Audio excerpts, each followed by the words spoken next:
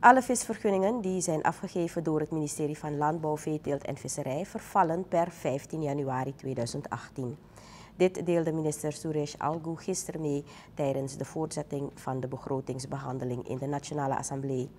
Deze maatregel volgt nadat er geconstateerd is dat de verstrekking van vergunningen niet op een richtige manier geschiet.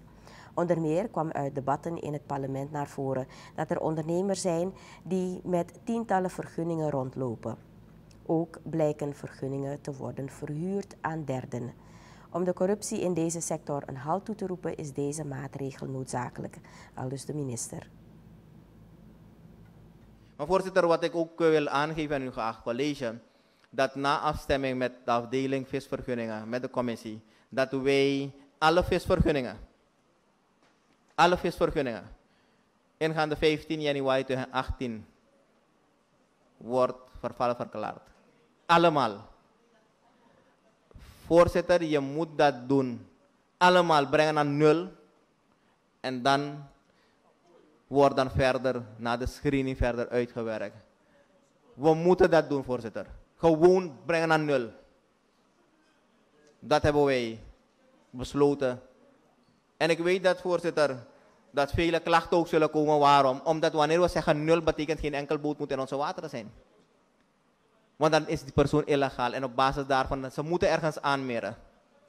En dit is ook samen met kustwacht uitgevoerd zal worden, defensie en justitie en politie. Elke ondernemer die nu in aanmerking wil komen voor een visvergunning, dient zijn aanvraag opnieuw in te dienen, zegt minister Algu.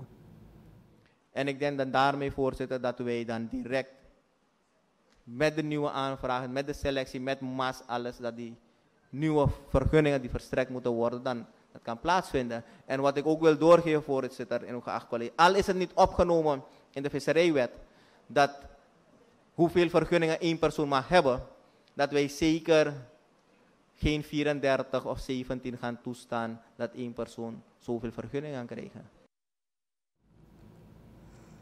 Dat was Suresh Algu van Landbouw, Veeteelt en Visserij gisteren tijdens de voortzetting van de begrotingsbehandeling in de Nationale Assemblée.